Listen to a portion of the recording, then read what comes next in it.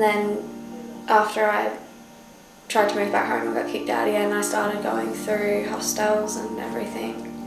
And Kira helped me with like finding hostels and stuff like that. And then she used to come to the school every two, three weeks to um, come and just work out plans and stuff like that. Just trying to get TAFE and stuff because the school didn't think that I was going to be there for very long. But then I went kind of AWOL and disappeared and was going lots and lots of different places and I was quite into the drugs and just didn't really care but I still had Kira ringing me like every day I was like I don't know, everything just kind of rushed around me. I wasn't really in touch with reality, but I think that was a lot to do with the drugs as well. I would say I'm one of the main supports that she's had that's been consistent over that time. Um, she's even though she's gone through phases where she's gone, I can't do this anymore, and disappeared for a while, she's always come back. Um, so that's something that's really we've always had that strong relationship. It's kind of on like it was like I was kind of on like the point of a pyramid or something, and I was either tipping forward or backwards. And I think I would have slipped backwards because I, if I didn't have someone there pushing me and someone that I could call and be like, you know, I want to do better. She's kind of like been the main constant thing in my life over the last two years, someone that I can actually really rely on. Like just being in and out of home and just never really having that constant thing at all, like even just somewhere you're staying or not being able to trust anyone. I don't think I'd be here. Like, I actually think that I'd be on the street. Last night in Western Australia, there were too many people like Kelly, young, alone, and homeless. They slept in hostels, on friends' couches, or on the streets. Some of them were escaping violence, sexual abuse, or drug abuse in the family. Others were kicked out. All of them have a unique story, but these stories often go untold. In this film, a handful of the young people who go homeless every night in WA will share their stories. They will share their challenges and their successes. Importantly, they'll tell of their support by youth workers, whose tireless efforts are often unnoticed and unappreciated.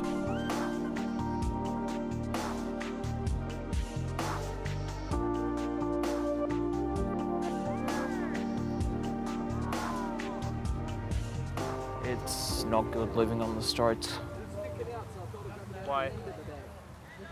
Oh, like you can get like bashed up on the streets and stuff like that.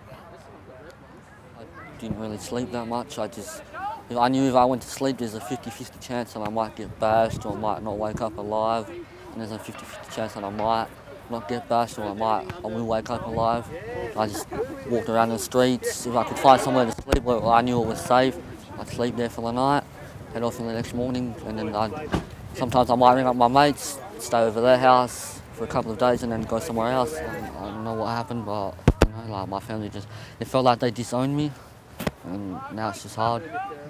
I felt like I was ready to kill someone, and then that's when I got locked up that night, because I was pretty pissed off that my dad had kicked me out, and then he passed shit on to my nan and pop, and I thought I was, I was ready to lose it, and then I bashed someone and I got charged for it. It's a Tuesday afternoon, and the Big Issue Street soccer team is training. This soccer team is a bit different. Its players have suffered drug abuse, homelessness, and significant mental health issues, among other things. And it's not just a game. Big Issue offers support around challenges they face in their everyday lives. They've gotten jobs, housing, drug and alcohol support, and family support. They were keen to share with us their experiences of homelessness. I was actually homeless for about a week or two. That's because I got kicked out of the youth hostel, and after that, I just went from youth, youth hostel to youth hostel to youth hostel, and then into foster care and to another house. Hell, pretty much hell every single day. I absolutely hated it. I, I actually, um, this may sound be a little bit harsh for some people to hear, but I actually had suicide thoughts. Like, I honestly thought of killing myself when I was in that hostel, just because that's how much of a hell it was. Well, I was on the streets for like two, three months. It's probably not the best probably not the best thing. Like it's really, really messed up. Just hated it. Just going in and out of people's houses that I didn't even know. DCP hostels, went through it all. It's just not something that you really want to experience. I used to fight with my parents all the time, so then they kept telling me that I couldn't go see my friends and that, so I just did it anyway, and they ended up by kicking me out. So then I just, yeah, I had to go my own way. Yeah, I left in when I was in year eight. Yeah, eight. Yeah. That's young. Yeah, I was only like 13 And why did you leave school? because I had nowhere to go, and like rocking up to school all dirty and that was kind of embarrassing. So I just left school. So you were homeless from the age of 13. Yeah. Now I'm doing really well. I have everything. I got like I live with my cousin now, which is really good. I go to school and yeah.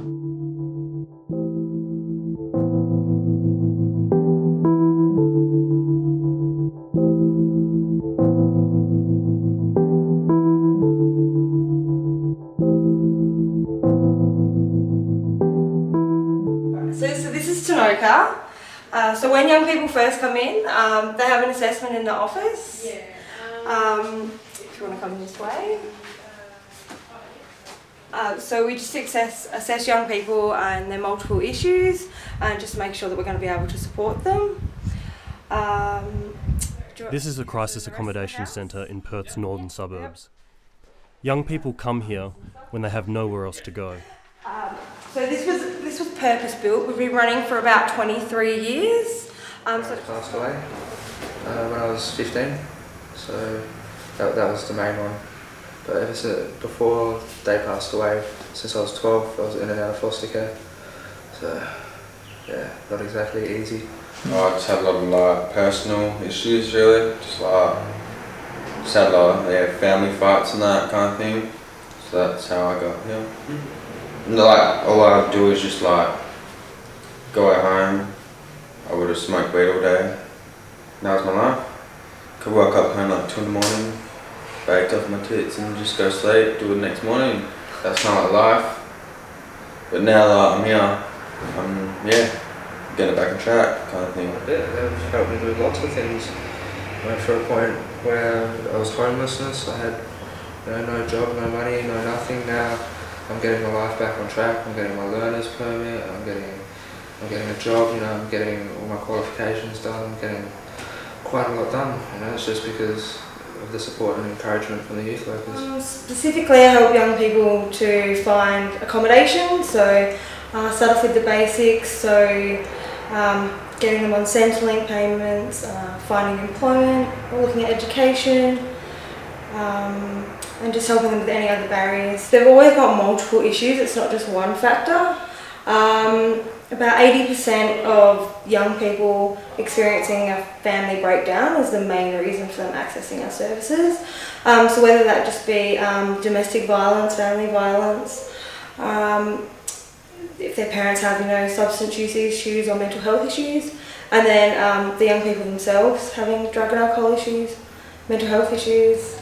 drug and alcohol issues is um, a major concern for a lot of our clients, um, or it's a concern for their workers. It's something that they identify as a reason why they're um, experiencing homelessness or reoccurring um, crisis, or it's a contributing factor. So, um, giving our clients some support around that is uh, something that we see as beneficial. I often call it uh, like being their personal sort of cheerleader, where you know you're the person that supports them and encourages them to um, pursue what interests them and become better at what they want to do and and make a better life for themselves um, without becoming personally involved.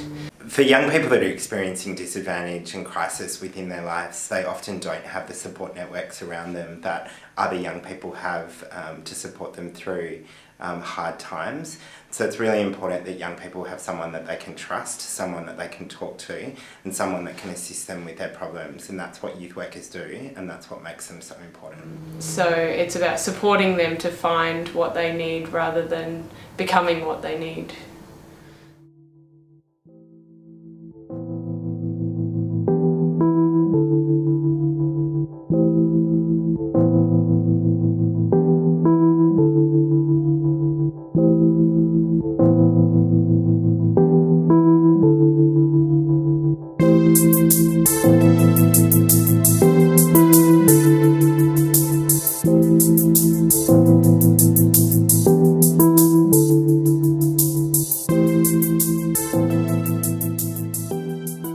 It was really hard with dad being an alcoholic because it, you'd sort of come home, you wanted to like spend time with your parents, like any kid would, sort of thing. You should feel safe around your parents, where I didn't.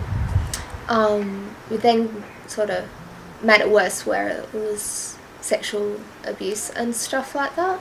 So, yeah, that made it pretty hard. I told mum, and she told me that I'd deserve it, and that I obviously liked it. So, yeah, it was pretty tough to try and have that on your back. Sarah is now a resident in the Foyer program. She moved out when she could no longer stand the abuse. Foyer's been really, really good for setting me up and building the really basic foundations of independent living. So, like, that means like food, shelter, water, and assistance with paying bills.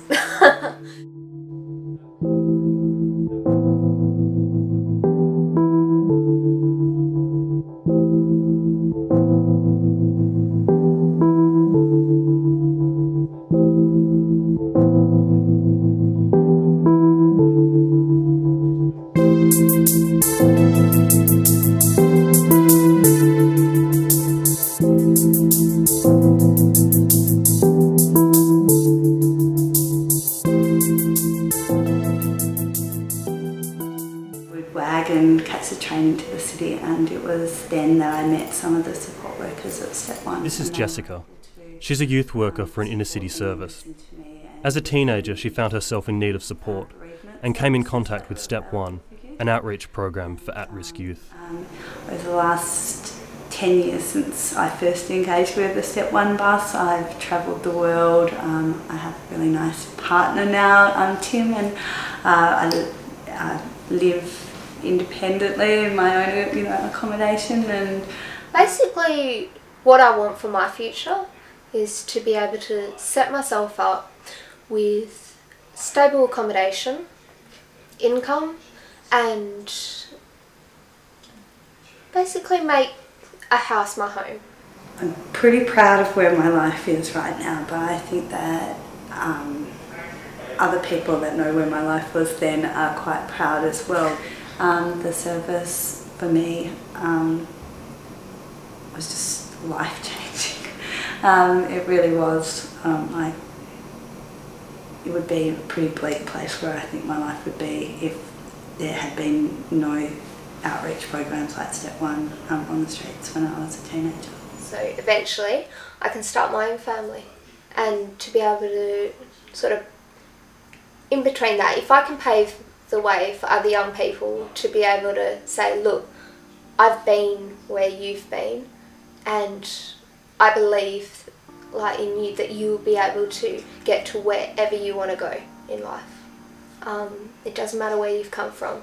It's what you choose to do with that, and where you see yourself like going. Because I think at the end of the day, that is what makes a survivor is that saying, okay, well, yes, that was really, really tough, but hey, I survived it and I'm going to push forward.